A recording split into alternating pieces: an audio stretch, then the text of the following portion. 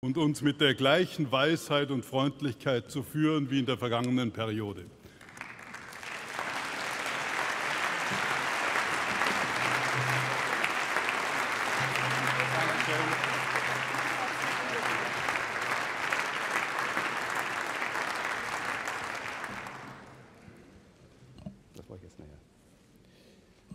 Sehr geehrter Herr Bundespräsident, verehrte Gäste, liebe Kolleginnen und Kollegen! Die erneute Wahl zum Präsidenten des Deutschen Bundestages ist eine hohe Auszeichnung und eine große Verpflichtung. Das eine ist mir so bewusst wie das andere. Vor vier Jahren hat mich der 16. Deutsche Bundestag mit einem ungewöhnlichen Vertrauensvorschuss in dieses Amt gewählt. Ich bedanke mich bei allen, die mir heute auch nach stattgefundenen Erfahrungen in der Wahrnehmung des Amtes die Stimme gegeben haben. Zunächst bei meiner eigenen Fraktion, die mich trotz gelegentlicher Neigung zur Selbstständigkeit und zur Hartnäckigkeit auch gegenüber eigenen besonderen Wünschen und Erwartungen für dieses Amt erneut vorgeschlagen hat, in Kenntnis des Risikos, dass das so bleiben wird. Und ich freue mich natürlich,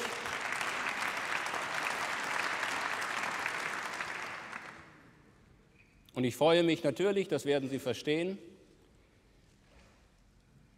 dass mein Bemühen eine so breite Anerkennung gefunden hat, dieses hohe Amt so überparteilich wie eben möglich zu führen und unser Parlament nach innen wie außen würdig zu vertreten.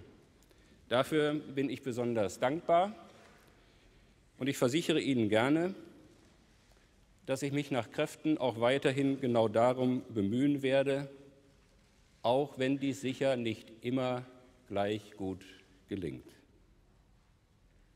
Zugleich bitte ich um Verständnis, wenn ich nach Ihrem Votum nun auch um Ihre Unterstützung bei den notwendigen Bemühungen um eine weitere Verbesserung unserer parlamentarischen Arbeit bitte, zu der ich nach meiner Festrede zum 60. Geburtstag des Bundestages im September heute einige durchaus selbstkritische Anmerkungen machen möchte.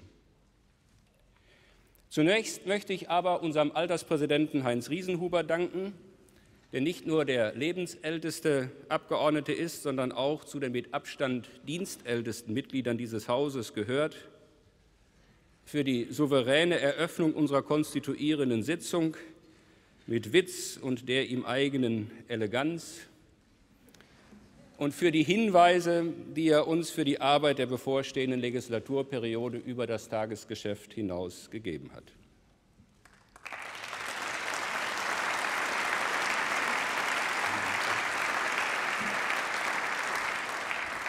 Mein besonderer Dank und Respekt gilt allen ausscheidenden Mitgliedern des Bundestages für die geleistete Arbeit, stellvertretend für alle, nenne ich Frau Dr. Däubler-Gemelin, die diesem Parlament seit 1972, also stolze 37 Jahre, angehört hat.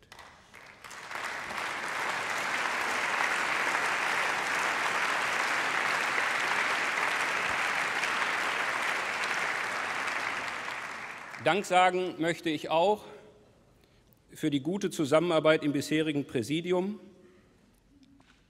insbesondere an Susanne Kastner, die sieben Jahre Vizepräsidentin des Deutschen Bundestages war.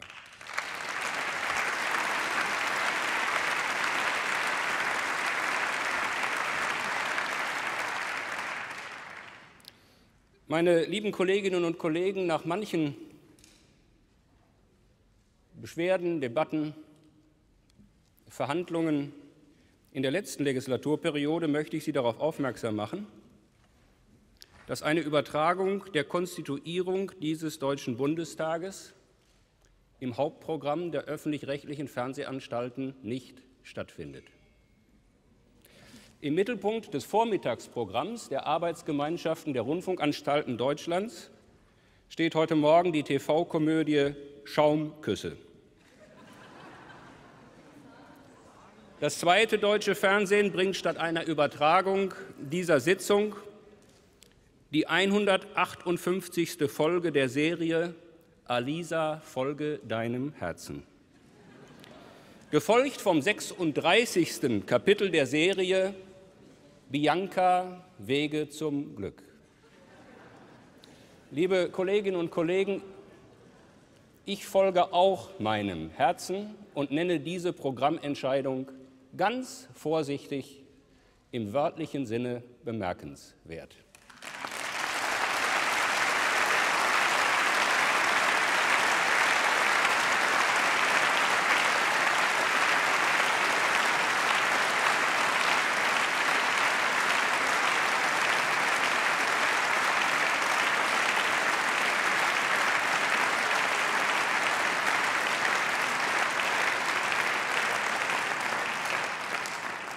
Mir fehlt jedes Verständnis, dass ein gebührenpflichtiges Fernsehen, dass dieses üppig dotierte Privileg allein seinem besonderen Informationsauftrag verdankt, auch an einem Tag wie heute mit einer souveränen Sturheit der Unterhaltung Vorrang vor der Information einräumt.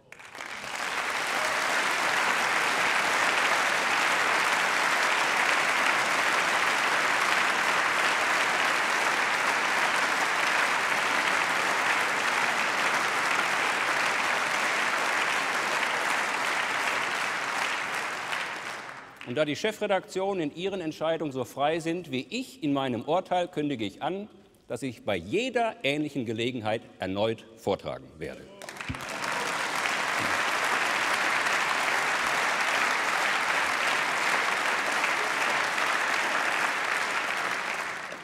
Meine Damen und Herren, das Wahlergebnis vom 27. September hat die Kräfteverhältnisse im 17. Bundestag stärker verändert, als gemeinhin erwartet wurde und zugleich die politischen Rollen neu verteilt.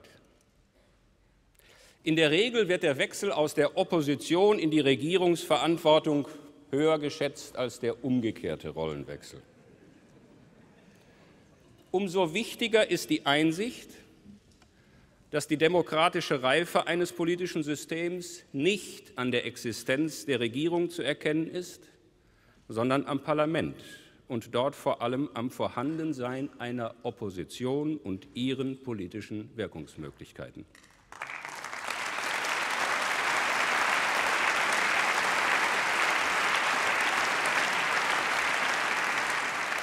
Regiert wird immer und überall, mal mit und oft ohne demokratische Legitimation. Die Opposition macht den Unterschied. Und ihre Bedeutung steht und fällt mit dem Gewicht des Parlaments als Vertretung des ganzen Volkes. Mehrheit und Minderheit. Rede und Widerrede. Wie sehr die Wählerinnen und Wähler und eben nicht die Parteien und ihre Führungen die Zusammensetzung der Parlamente verändern, wird nicht nur an der großen Zahl der jeweils neu gewählten Mitglieder deutlich, diesmal beinahe ein Drittel, sondern an der weitgehenden personellen Erneuerung innerhalb von nur zehn Jahren. Von den Abgeordneten, die 1999 beim Umzug des Bundestages von Bonn nach Berlin dabei waren, gehören noch gerade 101 dem heute zusammentretenden Parlament an, weniger als ein Sechstel also. Meine Damen und Herren, nicht alle, die in diesem Bundestag sitzen, haben den gleichen Einfluss. Das ist wohl wahr. Aber alle haben das gleiche Mandat, gleiche Rechte und gleiche Pflichten. Auf beides will ich achten. Und wenn nötig in Erinnerung rufen, dass wir gewählt sind, aber nicht gesalbt. Nicht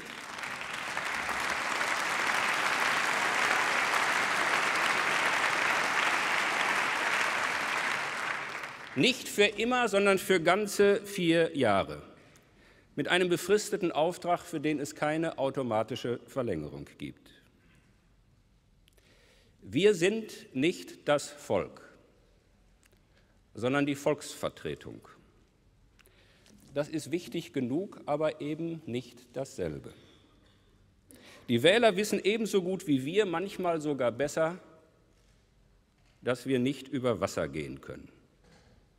Deshalb sollten wir auch keinen anderen Eindruck vermitteln. Meine Damen und Herren, am 27. September haben fast 30 Prozent der Wählerinnen und Wähler von ihrem Wahlrecht keinen Gebrauch gemacht, mehr als je zuvor in der Geschichte der Bundestagswahlen, obwohl es übrigens noch nie so viele Kampagnen zur Wahlbeteiligung gegeben hat wie in diesem Jahr. Etwa 18 Millionen Frauen und Männer haben nicht gewählt. Das ist so viel, wie das größte Bundesland Einwohner hat. Belanglos ist das nicht. Es sollte bei nüchterner Würdigung weder verharmlost noch dramatisiert werden. Immerhin ist die niedrigste Beteiligung an einer Bundestagswahl seit 60 Jahren immer noch deutlich höher als die vielgerühmte höchste amerikanische Wahlbeteiligung in den letzten 100 Jahren.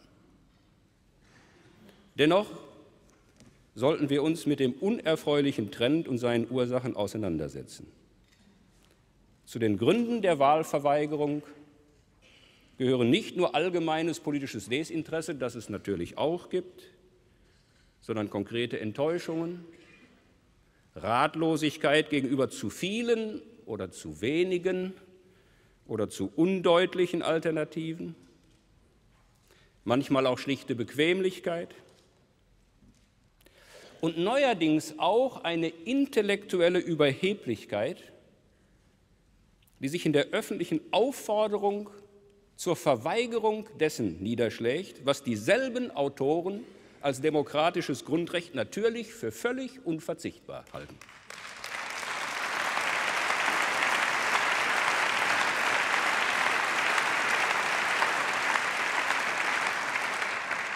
Und man wird gerade in diesem Jahr daran erinnern dürfen, für dieses demokratische Kerngrundrecht freier Wahlen sind auch in Deutschland vor 20 Jahren viele tausende Menschen auf die Straße gegangen.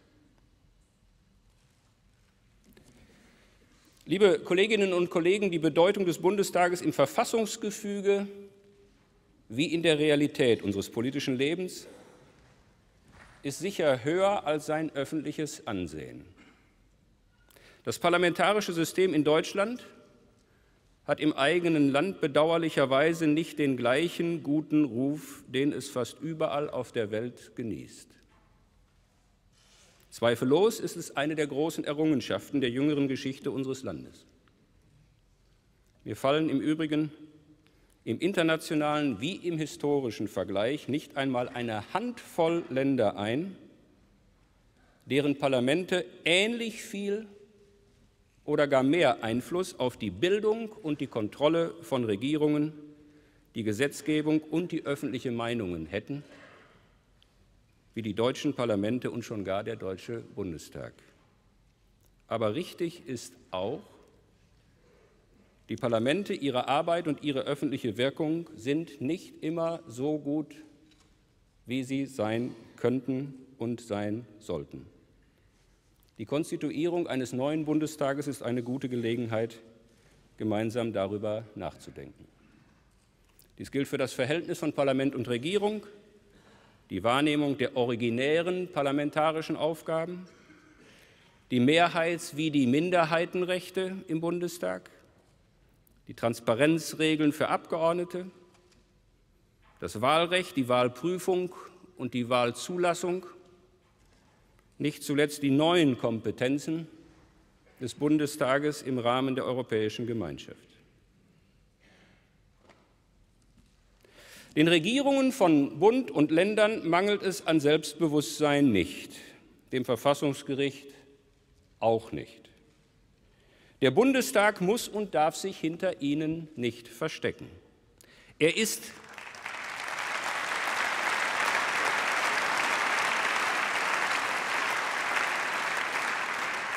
Er ist nicht Hilfsorgan, sondern Herz der politischen Willensbildung in unserem Land. Nicht die Regierung hält sich ein Parlament, sondern das Parlament bestimmt und kontrolliert die Regierung. Im parlamentarischen Regierungssystem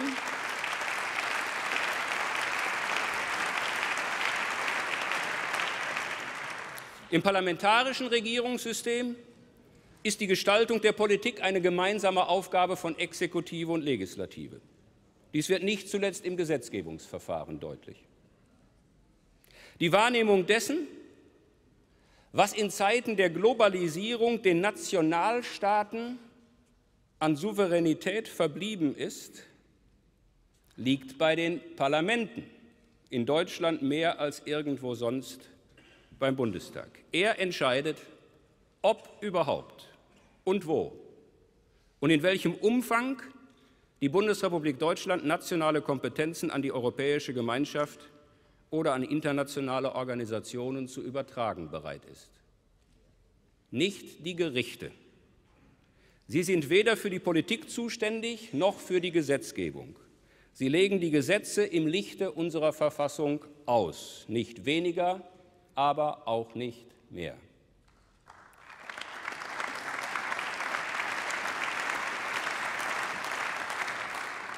Meine Damen und Herren, die Beteiligung von Sachverstand aus Wirtschaft und Gesellschaft zur Vorbereitung staatlicher Entscheidungen in der Exekutive wie der Legislative ist eine Errungenschaft postfeudaler Zeiten und ganz sicher kein Skandal. Allerdings, weder ist die Regierung Gesetzgeber noch das Parlament Gesetznehmer.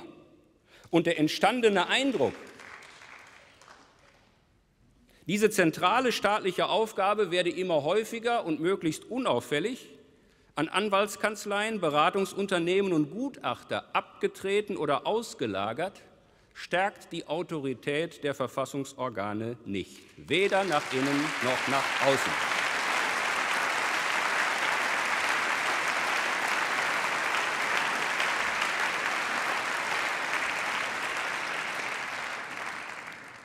Es muss im Übrigen auch nicht sein, wie zuletzt die ebenso kurzfristige wie kompetente Begleitgesetzgebung zum Lissabonner Vertrag eindrucksvoll belegt hat. Für die neuen Aufgaben, die damit auf den Bundestag innerhalb der Europäischen Union zukommen, sind wir inzwischen besser gerüstet als zu Beginn der letzten Legislaturperiode. Durch eigene Initiativen, vor allem das Verbindungsbüro des Bundestages in Brüssel, aber auch durch die Entscheidung des Bundesverfassungsgerichts über die zentrale und unaufgebbare Rolle des Parlaments auch bei europäischen Rechtsetzungsakten. Liebe Kolleginnen und Kollegen, nicht ganz so eindrucksvoll ist die Organisation unserer Plenardebatten, die seit einiger Zeit durch ein immer größeres und wie ich finde immer ärgerlicheres Missverhältnis zwischen aufgesetzten und tatsächlich öffentlich behandelten Tagesordnungspunkten gekennzeichnet ist.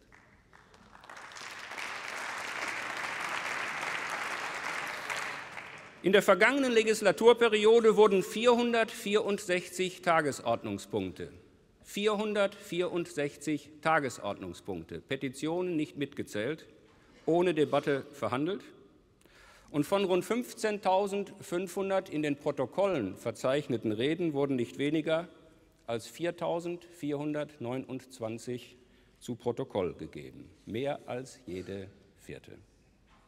Aus einer im Einzelfall sicher nötigen Ausnahme. Und ich räume freimütig ein, dass ich in früheren Rollen, die länger zurückliegen, an der Möglichkeit dieser Ausnahmeregelung leichtfertig mitgewirkt habe. Aus einer im Einzelfall sicher nötigen Ausnahme ist längst eine fragwürdige Regel geworden. Das ist sicher keine Errungenschaft. Schon gar nicht,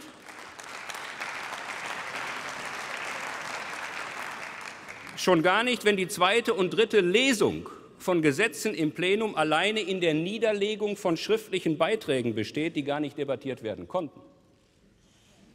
Mit der unmissverständlichen Festlegung unserer Verfassung, Zitat, der Bundestag verhandelt öffentlich, ist diese Praxis nur schwer vereinbar, zumal die Ausschussberatungen aus guten Gründen nicht immer öffentlich sind. Deshalb empfehle ich uns dringend, und das gilt übrigens für ausnahmslos alle, ausnahmslos alle Beteiligten, die Fülle der eingebrachten Gesetzentwürfe, Entschließungsanträge und Resolutionen auch im Maßstab der verfügbaren Beratungszeit selbstkritisch zu überprüfen oder umgekehrt die Anzahl der Sitzungswochen entsprechend zu erhöhen.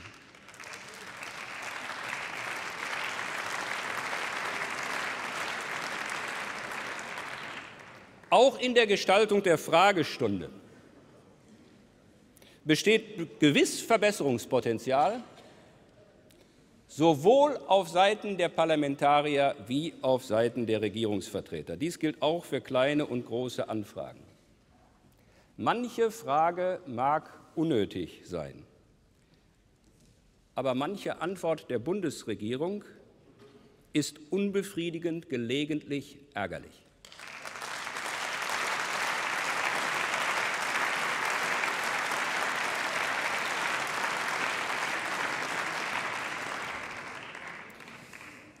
Über den demonstrativen Beifall einiger von mir jetzt nicht namentlich genannter Kolleginnen und Kollegen freue ich mich ganz besonders und füge hinzu, nicht nur die neuen Minister können nun zeigen, dass es im Umgang mit sicherlich manchmal lästigen parlamentarischen Auskunftsrechten so verlässlich, zügig und sorgfältig zugeht, wie Sie es als Abgeordnete von der Regierung erwartet haben.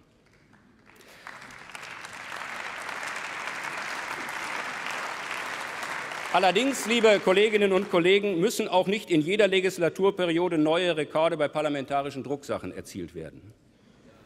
Noch nie wurden von einem deutschen Parlament so viele Einzeldokumente erzeugt wie in den letzten vier Jahren, deutlich mehr als 14.000. Aus gegebenem Anlass wird sich der neue Bundestag sehr bald sowohl mit den Transparenzregeln für Abgeordnete wie mit einzelnen Bestimmungen unseres Wahlrechts befassen müssen. Ich hoffe sehr, dass wir bei diesen beiden Themen mit möglichst breiten, fraktionsübergreifenden Mehrheiten zur überzeugenden Korrektur von Regelungen kommen, die nicht erst seit den gerichtlichen Beanstandungen umstritten sind. Dabei empfehle ich uns auch einen ruhigen Blick auf die geltenden Regelungen zur Zulassung nicht bereits im Parlament vertretener Parteien zur Bundestagswahl. Dass im dafür zuständigen Wahlausschuss Vertreter der etablierten Parteien über die Zulassung von Konkurrenz entscheiden, ist nicht über jeden demokratischen Zweifel erhaben. Und dass unser Wahlgesetz eine Überprüfung dort mit Mehrheit abgelehnter Bewerbungen erst nach der Wahl zulässt, halten nicht nur einige Kommentatoren des Grundgesetzes für eine Rechtsschutzlücke, ich auch. Dann ist es nämlich für eine Korrektur zu spät.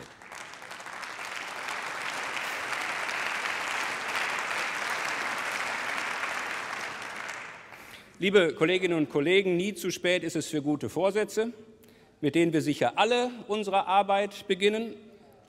Aber wir sollten mit der Umsetzung auch möglichst bald beginnen. Die Legislaturperiode ist kurz, für den Bundestag nur vier Jahre. Fast alle Landtage, viele Parlamente unserer Nachbarstaaten haben fünfjährige Legislaturperioden, ebenso wie das Europäische Parlament. Auch darüber lohnt es nachzudenken. Nicht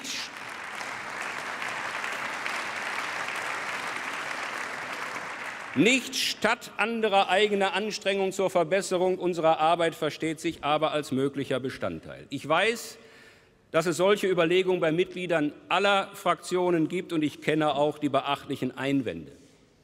Aber wir sollten auch nicht übersehen, dass es nach Einschätzung der meisten Wählerinnen und Wähler nicht zu wenige Wahlen in Deutschland gibt, sondern eher zu viele, von den Gemeinderäten, Kreistagen und Landtagen bis zum Europäischen Parlament.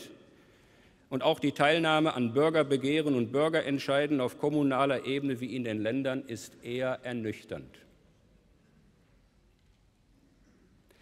Jedenfalls werden wir uns darauf einrichten müssen, für die nächsten Jahre nicht nur von einem allgemeinen Wohlwollen der Öffentlichkeit wie der Medien, als vielmehr von ausgeprägten Erwartungen begleitet zu werden. Und unsere Arbeit wird dadurch nicht leichter, dass manche dieser Erwartungen sich wechselseitig ausschließen. Aber wir alle, die wir heute zur Konstituierung dieses Bundestages hier zusammengekommen sind, haben für dieses Mandat kandidiert, weil wir uns dieser Aufgabe gewachsen fühlen. Mit der Annahme dieses Mandats beginnt die Erledigung der übernommenen Aufgaben, in welchen Rollen auch immer. Ich wünsche uns allen, jedem Einzelnen, Freude und Erfolg bei der Bewältigung dieser Herausforderungen und ich freue mich auf eine ebenso streitbare wie kollegiale Zusammenarbeit. Herzlichen Dank.